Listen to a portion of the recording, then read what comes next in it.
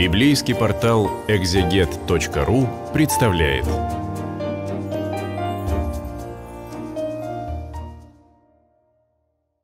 Здравствуйте.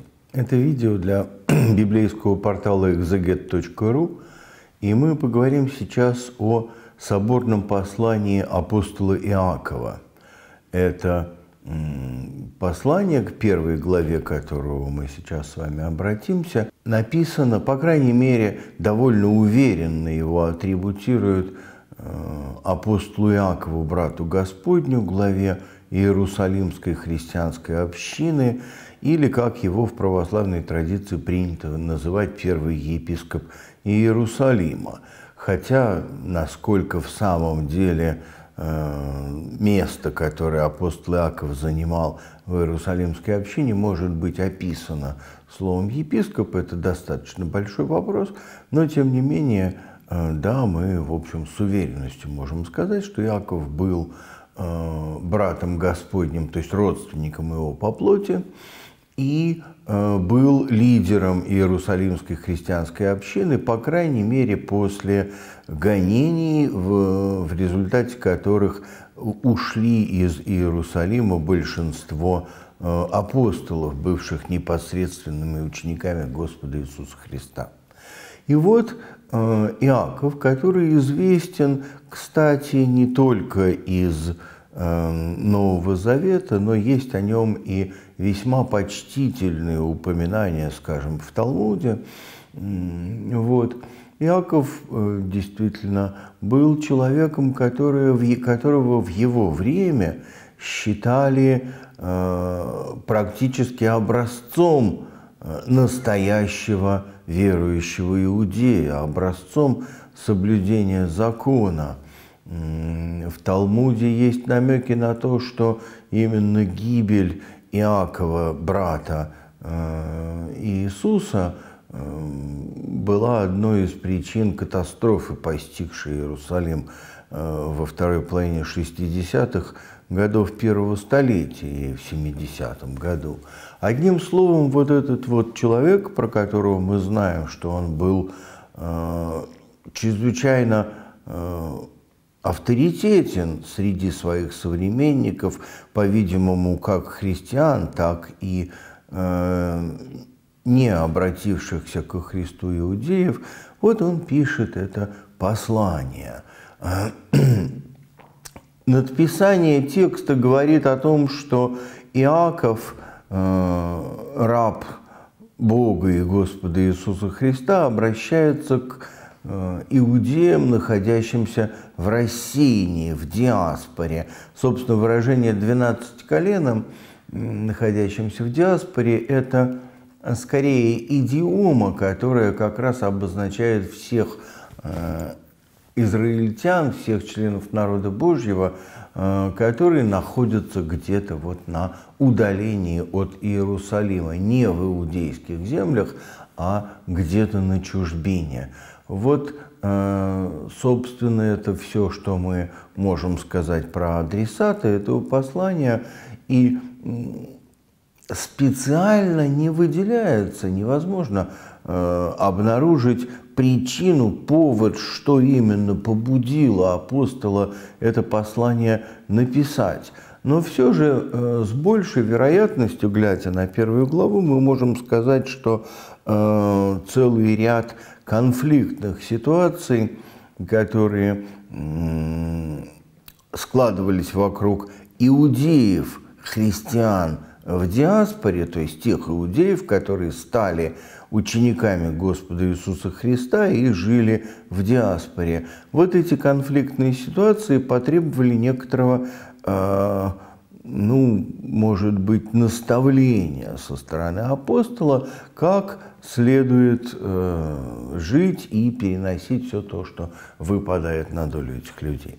Еще, конечно, нам необходимо с вами иметь в виду, что те люди, к которым обращается апостол, христиане из иудеев, вне всякого сомнения, хорошо знают и по возможности тщательно соблюдают Моисеев закон. В отличие от всех тех с кем мы с вами сталкиваемся среди адресатов послания апостола Павла, это люди, для которых вопрос об обрезании и соблюдении Моисеева закона вообще не возникает. Это для них само собой разумеется. И вот такая твердая верность Богу и верность Божьему закону эм, – это некоторый, э, если хотите, фон, на котором нам э, следует читать те э, слова, которые вот апостол Иаков к этим людям означает, а, обращает. В самом начале он говорит о искушениях или испытаниях, которые выпадают на долю христиан. Весьма вероятно, что речь идет о гонениях со стороны не обратившихся иудеев, хотя это и не дает нам возможность более точно э, датировать послание, потому что подобного рода гонения были интенсивными и в 30-е и 40-е, и в 70-е и 80-е годы первого столетия, и э, в промежутке между этими периодами тоже. Итак, Яков обращается к людям, которые подвергаются, по-видимому, гонениям и преследованиям за то, что они э, исповедуют Господа Иисуса, собственно, Господом, Мессией, Спасителем Израиля.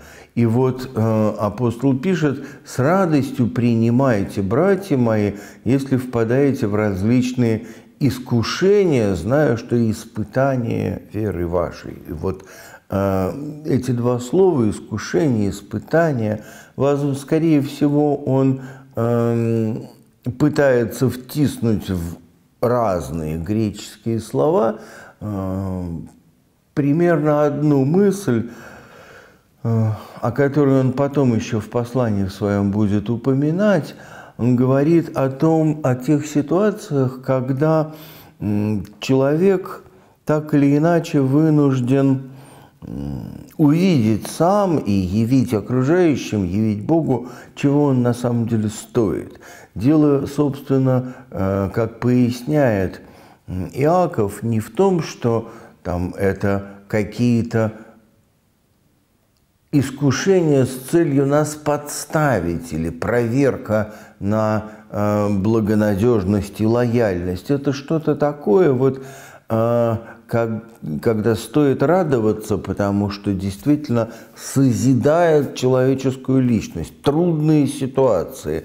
Для нас и слово «искушение», и слово «испытание», вообще говоря, э, не очень хорошо звучит, потому что мы Э, так предполагаем, что кто-то злонамеренно искушает нас для того, чтобы подловить на э, мелких или крупных ошибках.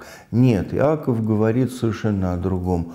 Он говорит о трудностях, которые выпадают на человеческую долю в его жизненном пути, и трудностях, которые делают нас э, более совершенными, наверное, более цельными личностями. Вот он пишет, это все дается, чтобы вы были совершенны и цельны. А, ну или в синодальном нашем русском переводе совершенны во всей полноте, без всякого недостатка.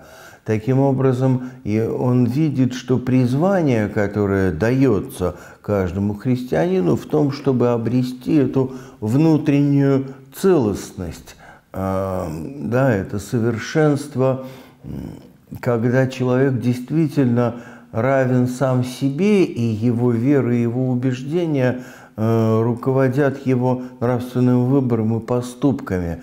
На самом деле сегодня это очень важная вещь, потому что мы часто сегодня оказываемся крайне фрагментар, фрагментированными личностями, когда у нас там вера отдельно, поступки отдельно, нравственный выбор отдельно, а там предназначение в жизни совсем отдельно, и мы не связываем одно с другим. Вот апостол говорит о том, что э, все испытания даются нам для того, чтобы мы э, в терпении научились приносить совершенный плод и были внутри себя действительно совершенны и цельны, чтобы мы были полновесными, полноценными личностями. Это, без сомнения, чрезвычайно важно. И э, Далее он говорит о том, что, ну, понятно, что не всегда нам хватает мудрости, не всегда нам хватает э, того э, фундамента, из, того материала, из которого человеческая личность строится. Поэтому, немножко, может быть, перескакивая, мысль апостола обращается именно к мудрости и говорит, ну, а если у кого нету мудрости, не хватает, ну, значит, просите у Бога, просите у Бога. И здесь я хочу обратить наше с вами внимание на совершенно потрясающие слова пятого стиха, потому что Иаков здесь и в некоторых других местах говорит о Боге чрезвычайно важные вещи, которые абсолютно перпендикулярны нашим стереотипам. Вот он говорит, пусть просит у Бога, дающего всем просто и без упреков, и дастся ему.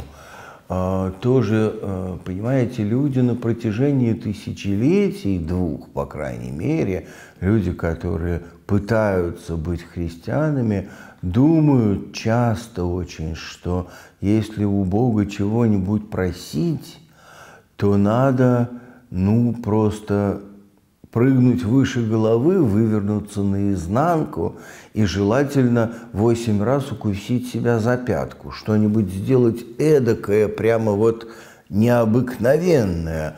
Иначе Бог не, не даст тебе того, чего ты просишь. Так мы думаем. Так мы думаем. А, нам часто бывает стыдно предъявить Богу свою немощь и нищету. А, нам кажется, что Бог скажет, ну что же ты какой глупый или там слабый или что-нибудь еще. Вот. А, а Яков говорит, Бог дает просто и без упреков. Бог дает просто и без упреков. Ты предъявляешь ему свою нужду. Вот как здесь речь идет, речь идет о мудрости. И говоришь, Господи, мне не хватает мудрости, я что-то не понимаю, я там вот, вот такой, какой есть. Даруй мне в этом помощь. И Бог, пишет Иаков, дает просто и без упреков. Знаете, я бы сказал, что, а, во-первых, а, в этих словах слышится многовековая мудрость Ветхого Завета, а во-вторых, конечно, опыт человека, который знаком с Иисусом из Назарета. Вот Бог дает просто и без упреков. Это слова, которые нам тоже очень нужно знать и помнить. Когда мы по 50 раз одно и то же повторяем, э, Господи помилуй, Господи помилуй, да, но ну, Бог дает просто и без упреков. И вот от такого многократного повторения вряд ли что-нибудь изменится. Но говорить с Богом в простоте и предъявлять Ему свои просьбы в простоте очень трудно, потому что это означает поверить и принять собственную нищету, нищету перед Богом. Вот. А, так что этот пятый стих чрезвычайно поучительный, я бы сказал, слова. И дальше апостол говорит о том, что э, поскольку Бог дает просто и без упреков, для нас очень важно также в простоте, в доверии э, предъявлять Богу э, все свои немощи, трудности и сомнения. Кроме этого, в первой главе апостол обращается к теме, которая будет для него еще в центре его внимания во второй главе, это разговор о том, что, собственно, перед Богом по-настоящему важно в человеческой жизни, в человеке, чем хвастаться или хвалиться, хотя апостол не употребляет этот термин, излюбленный апостолом Павлом. Тем не менее, вот он говорит о том, что э, да хвалится брат униженный высотою своею. И еще несколько следующих стихов, э, в частности, э, богатый да хвалится унижением своим, потому что речь для апостола идет в первую очередь о том, чтобы принять да, свою жизнь, принять себя вот такой, какая она сейчас есть. Греха в ней не надо принимать, а э, высоту или унижение – это в конце концов э, не так существенно. И вот он предлагает, э, предлагает предъявить Богу, собственно, предъявить Богу э, униженному брату высоту свою, а богатому унижение, потому что э, все на самом деле может меняться. И поэтому нет необходимости вот такие вещи пытаться поменять. Вот приблизительно так рассуждает апостол. А дальше он говорит, блажен человек, э, который переносит искушение, потому что, быв испытан, он получит венец жизни, который Бог обещал любящим его. Итак, испытание, искушение трудности и собственная нищета и унижение, которое есть в человеческой жизни всегда, вот все это э, дает нам возможность получить, как апостол говорит, венец жизни, тот царственный дар жизни, который Бог э, дает любящим его. И еще чрезвычайно важная очень вещь. Смотрите, апостол э, говорит об испытаниях, об искушениях, и э, при этом замечает в 13 стихе, «Никто не говори, Бог меня искушает», потому что Бог не искушается злом и сам не искушает никого. И надо сказать, что, к великому сожалению, эти слова давно оказались ну, прочно забытыми, а может быть и вовсе никогда не были услышанными, по крайней мере, в целом ряде христианских культур. Наш с вами здесь не исключение, потому что вот э, представление о Боге, который только и следит за тобой, чтобы подловить тебя на каких-то ошибках, заблуждениях, э, да, о Боге, который насылает на тебя Э, те или иные тяготы для того, чтобы увидеть, сломаешься ты или нет, вот это представление очень широко в нас распространено. Да, но апостол специально говорит о том, что нет, это все не так. Бог никого не искушает. Бог не искушается злом и сам не искушает никого. Это не его образ действий. Э, и Соответственно, задачи, которые перед нами стоят в наших испытаниях, в наших искушениях, эти задачи нужны для нашего возрастания, а не для того, чтобы нас подловить и проверить. То есть встреча с Богом, исследование за Богом все-таки не э, подобны тому, что мы сейчас называем единым государственным экзаменом, где предполагается, что нас всех проверяют, и кто сдал молодец, кто не сдал, тому два. Нет, Бог так не делает. Бог так не делает. Бог дает возможность возрастания, и э, в этой борьбе оказывается на нашей стороне. Бог никого не искушает. И сам, кстати, заметьте, тоже э, не искушается злом. И вот э, Дальше апостол в 14-15 стихе поясняет, что на самом деле это мы сами э, искушаемся, увлекаясь и обольщаясь. Он говорит о том, что когда вот мы э, не на Бога смотрим, не за Богом следуем, вот тогда действительно это э, искушает нас и становится такой скользкой э, ситуации, когда ты не знаешь, как поступить и совершаешь ошибку почти наверняка. Это не Бог тебе подстраивает ловушку, это ты сам э, впадаешь в нее, не желая э, следовать за Богом. И вот он говорит, э, грех рождает смерть, сделанный грех рождает смерть. Значит, получается, что когда ты доверяешь Богу, когда ты у Него просишь мудрости и наполнения своей немощи, тогда это не искушение и испытание, не опасная ловушка, а возможность действительно возрасти в меру полного возраста Христова. А когда ты на Бога не смотришь, даже если ты занят самоусовершенствованием с нездешней силой, все равно это э, все рождает смерть. И снова, по-другому, немножко еще раз формулируя ту же мысль, апостол говорит дальше в 16 стихе, что и, и дальше, что «братья мои возлюбленные, все по-настоящему доброе, всякий дар совершенный не сходит свыше». Для слушателей закона это, вообще говоря, довольно важно, и для нас тоже. Потому что апостол говорит примерно вот что – то, что дается человеку в жизни, то благо, то добро, оно на самом деле является не нашими заслугами, не нашими какими-то усилиями достигается. По-настоящему всякий совершенный дар дается свыше, дается свыше. Э, как апостол Павел в таком же контексте э, пишет, и это не от вас, дар Божий.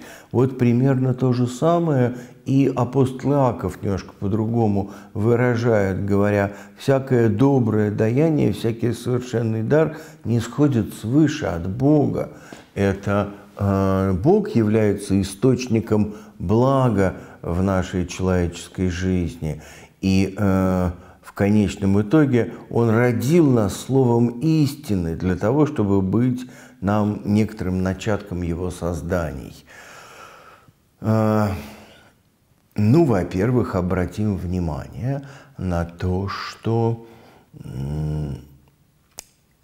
Иаков говорит, что Бог рождает нас, новых, нас в новую жизнь, делает нас людьми, призывает нас к жизни э, настоящей, полной, э, словом, словом. И с одной стороны, конечно, Иаков пишет, когда еще представление о э, Слове Божьем Нового Завета еще не появилось, и все, собственно, новозаветные писания более или менее еще только пишутся, они все, в конце концов, там за несколько десятилетий возникли. Да? Э, понятно, что речь идет не совсем о Писании, э, но все-таки, вот он говорит, э, Бог родил нас словом истины, тогда, когда Он захотел этого. Значит, речь ведь идет о том, что Слово о Божьей любви, Слово об Иисусе Христе, Слово о том, что правда и ложь – это не одно и то же, а все-таки разные вещи, и нам следует выбирать одно, а не другое. Вот это, то, что слово о том, что Иисус – умер ради нас и воскрес. Многое-многое другое, что мы можем сейчас назвать словом истины. Вот это рождает нас, понимаете? Именно э, это, собственно, благая весть, то, что Бог открывает нам о себе, о своей любви. И в этом смысле для Иакова это очевидно, а для нас сегодня не так очевидно. Э, что ну, надо это слово принимать, надо это, этим словом питаться.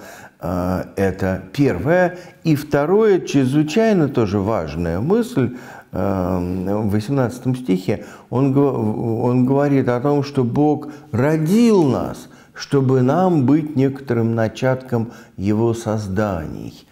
Э, и это идея, которая была, насколько можно судить, довольно популярной или авторитетной у христиан первого, второго и, может быть, даже и э, третьего, по крайней мере, первой половины третьего столетия. Представление о том, что вообще то, что сейчас происходит между нами и Богом, то, что происходит в христианских общинах, в церкви, это еще не не все, не цель, не конечное состояние, а некоторое средство для того, чтобы принести Богу весь мир. Вот это слово «начатки» а, чрезвычайно важное для христиан первых столетий. Как апостол Иаков пишет, что а, Бог родил нас – в жизнь, в новую жизнь, своим словом, откровением о себе и о своей любви,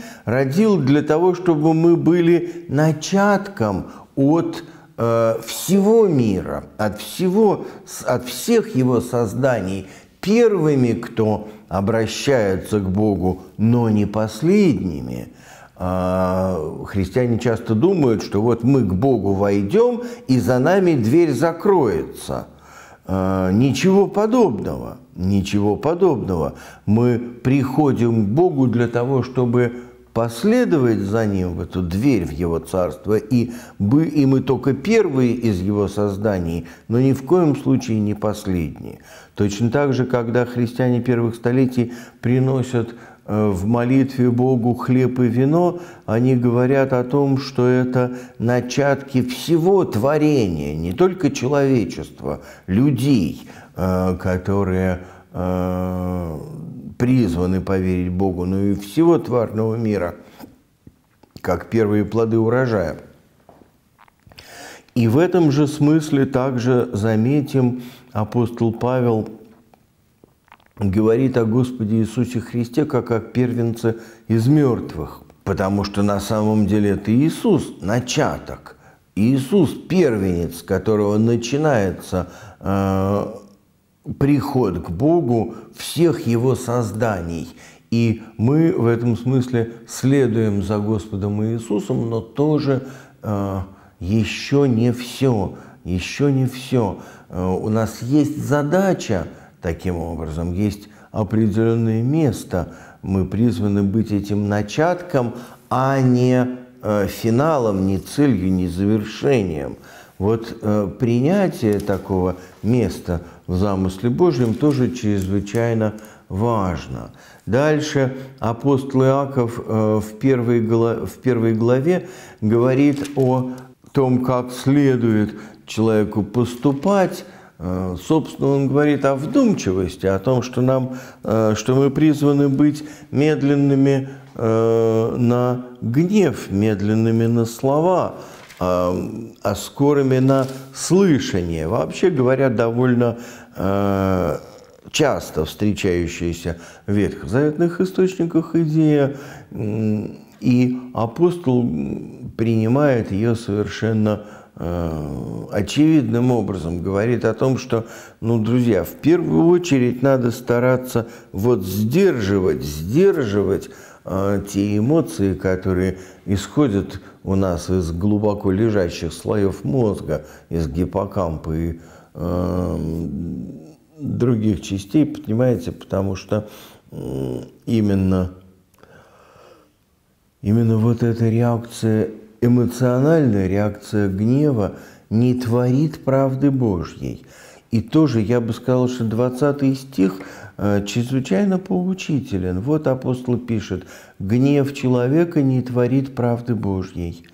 Мы иногда думаем, что ну, определенные формы гнева в определенных обстоятельствах можно себе позволить, считать, что это там правильно, уместно, вроде как нельзя гневаться на Бога или там на своих врагов, а на каких-нибудь других можно. Даже, знаете, около 6-8 века византийцы, которые не смогли вынести слова Господа Иисуса. В чистом виде, вставили в Евангелие, э, там, где Господь говорит, всякий гневающийся на брата своего подлежит суду, вот эм, они решили, что это слишком трудно, и вставили слово «напрасно», и получилось, как в нашем сегодняшнем тексте, э, «всякий гневающийся на брата своего напрасно подлежит суду». Иисус ничего про «напрасно» не говорил, э, поэтому это, конечно, серьезное искажение, но даже при том, что оно есть, тем не менее, вот здесь Э, апостол говорит, гнев человека не творит правды Божьей. Как бы мы ни думали, что может быть гнев оправданный, что если кто-то что-то делает не то, то можно ему заехать э, в челюсть, как знаете, клевещут на святителя Николая часто. Это враки, конечно, не бил он Ария вовсе, потому что он действительно Святитель Николай был верующим человеком и знал, что гнев человека не творит правды Божьей. Да, чтобы оправдать себя, мы это ему приписываем. Вот так это ведь очень часто бывает. Когда мы не контролируем собственные эмоции, особенно гнев, думая, что в этом что-то может быть хорошего, что там этот гнев может быть праведным э, и привести к каким-нибудь полезным результатом или хотя бы не стыдным. Нет. Гнев человека не творит правды Божьей. Вот это надо запомнить прямо э, навсегда. И во всех своих поступках этим принципом руководствоваться. И поэтому вот апостол говорит, будьте исполнители слова, а не слышатели только. Он говорит о том, что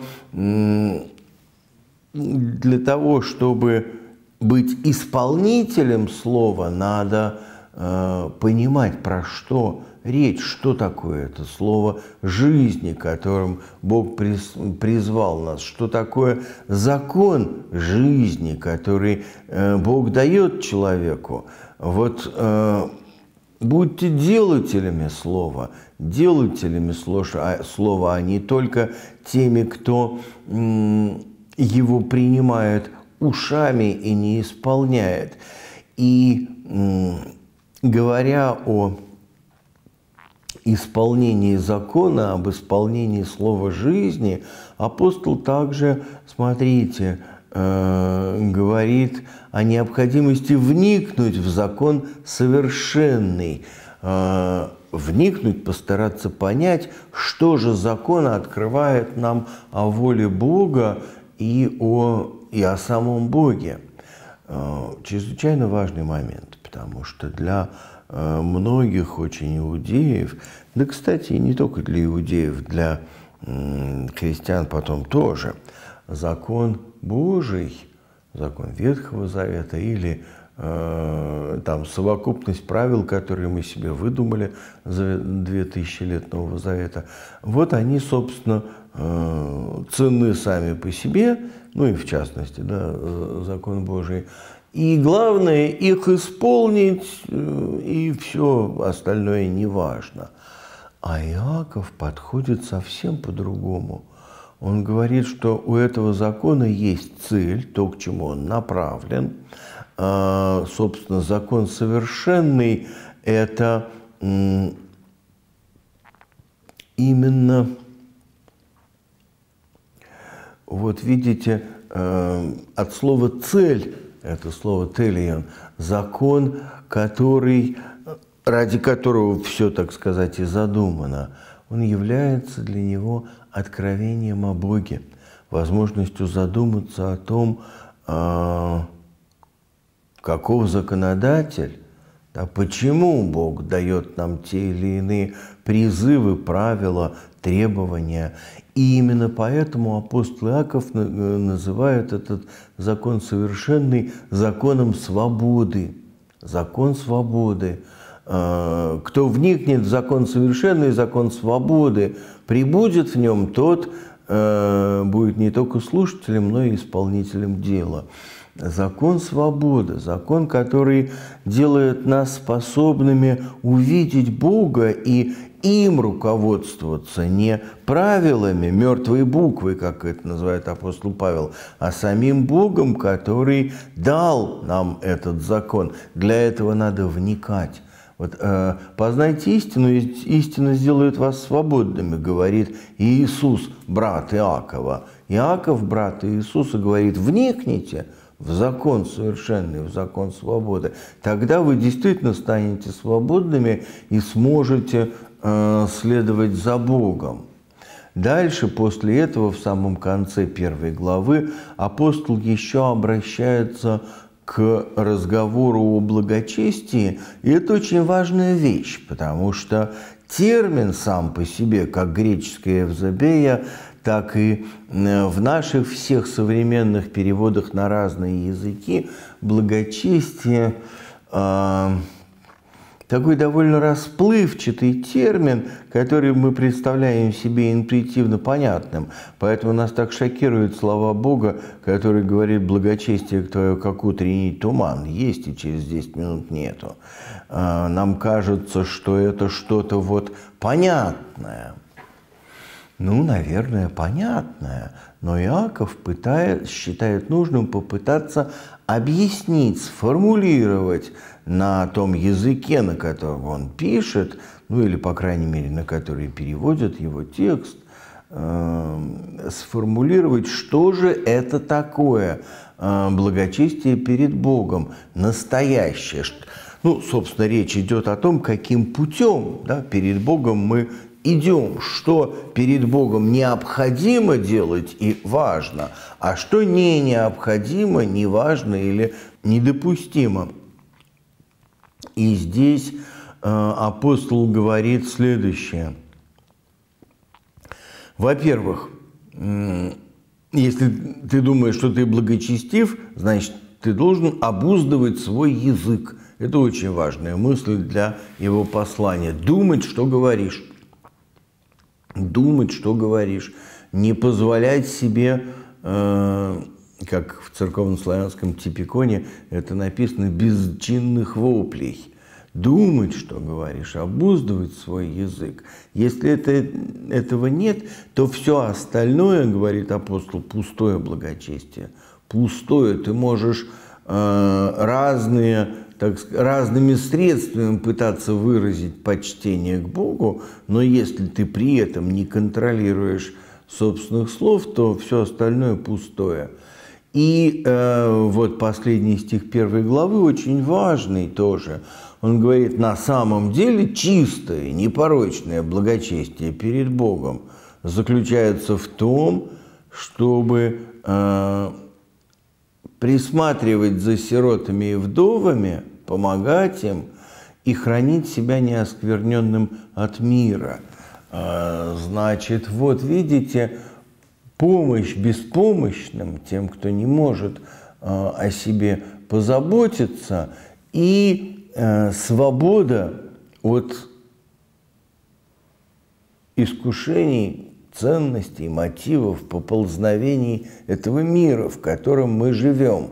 Э, Иаков вовсе не призывает нас бросить, исчезнуть из этого мира. Нет, конечно. Более того, очевидно, что заботиться о Э, нуждающихся, сиротах, вдовах, беспомощных, которые здесь, в этом мире, можно только вместе с ними в этом мире находясь, но э, при этом храня себя свободным, свободным от э, искушений и мнимых, мнимых ценностей этого мира. Вот такая, казалось бы, короткая, всего 27 стихов, первая глава, этого послания, но она содержит целый ряд чрезвычайно важных э, мыслей, которые затем в следующих главах апостол в большей или меньшей степени будет конкретизировать.